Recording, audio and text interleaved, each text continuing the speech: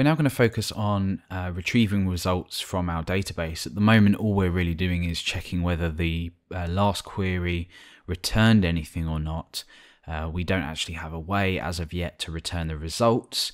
Um, what we're also going to do is introduce a method that allows us to return only the first result.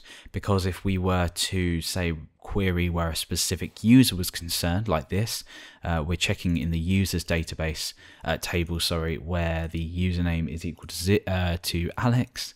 Um, we only really want to return the first result. Now, the result set will return us an object um, or a list, an array of, of, of objects basically. So we only want to get the first one.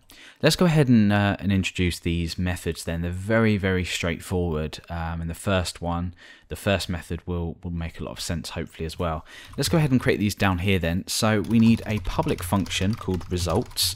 And that's basically just going to return this results. So remember, as part of these methods here that we've created, and as part of this that we've created, we're not actually storing any results in here. We're doing that within our main query method, uh, which is um, uh, setting the results here to the um, the, the results, uh, the fetch all method, and uh, we're retrieving the results as an object.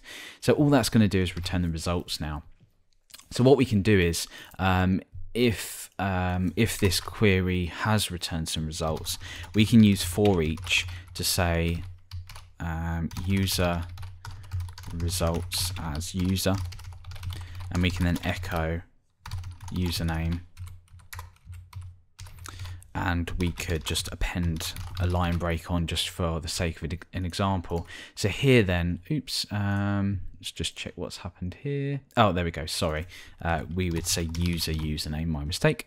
So in that case, then we're just returning Alex. We've only got one record in our database. Let's go ahead and just uh, put another user in um, just for the sake of it. Again, all of this will be hashed eventually. We're just um, testing this out for now. Uh, set the join date and we'll set the group to one. So refreshing.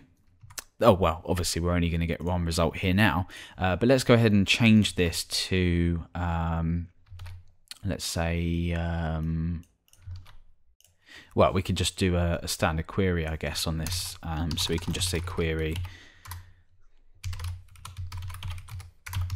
select star from users. That's a good point, really. Um, perhaps our um, our get method and our our action method should take into the account that we only want to retrieve all records from users, but that could be easily amended. For our purposes, we're probably not going to need to do that. Uh, you might need to do that if you want to just output a list of all the users on, on the site or something like that. But um, once you've understood how that works, it shouldn't be too hard to, to change.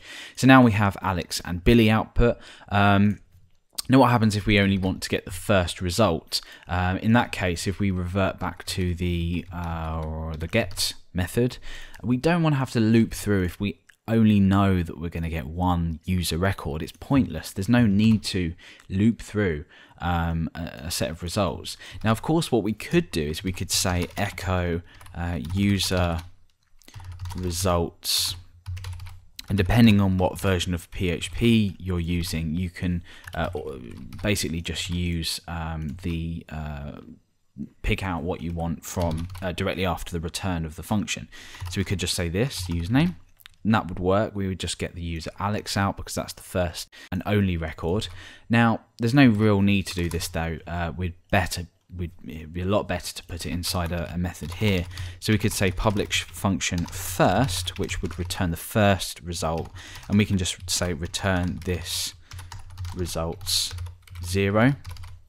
Or even better, we could say return this results zero like that. So we're making use of this method inside of here. So now what we can do is instead of doing that, we can echo uh, user first username. Perfect. So now that will just echo our Alex. So that's how we would retrieve uh, results from our, our database using our database wrapper, either through looping through a uh, result of many or just picking the first result if we know there's ever uh, only going to be one result.